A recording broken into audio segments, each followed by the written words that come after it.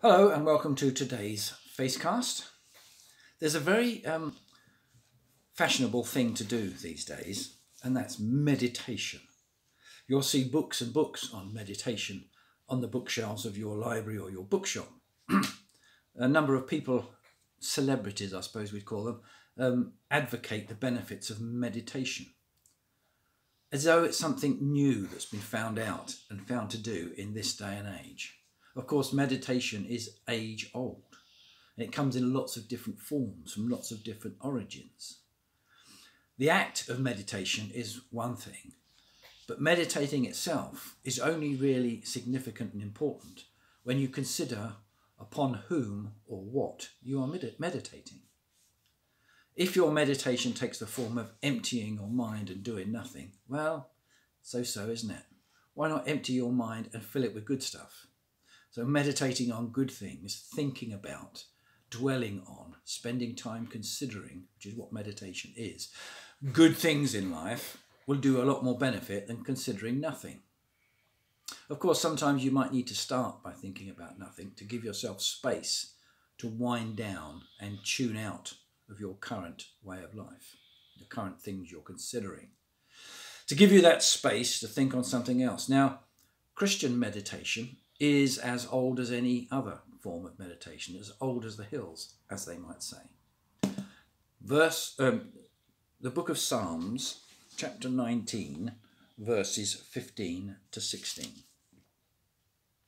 The psalmist says, as he's calling out to God, I meditate on your precepts and consider your ways.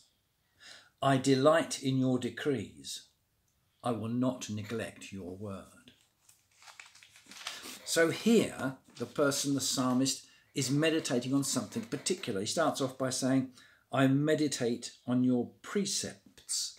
That is, the very things that, that God is and declares to us, his state of of who he is and what life is all about. His precepts, his commandments to us, in we might see in the Ten Commandments, and his explanation of who life is that we read right throughout the Old Testament and on into the New.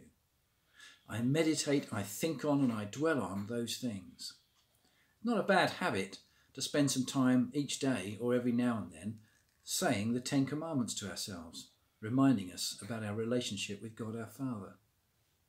I meditate on your precepts and consider your ways. So that would take some time in your meditation, won't it? What is God saying about this situation? What is my relationship with God today? I delight in your decrees.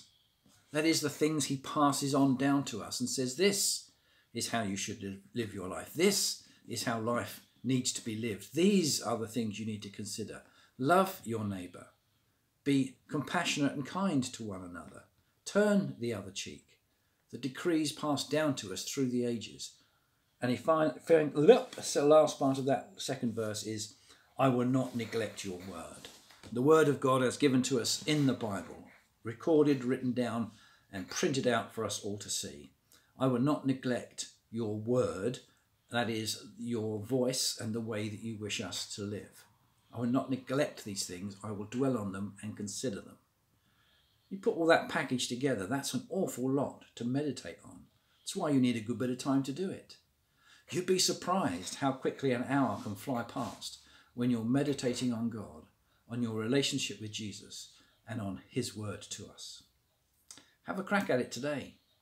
You've got time, you're on lockdown. Have a go at meditating and dwelling on the Word of God. Take care. See you soon.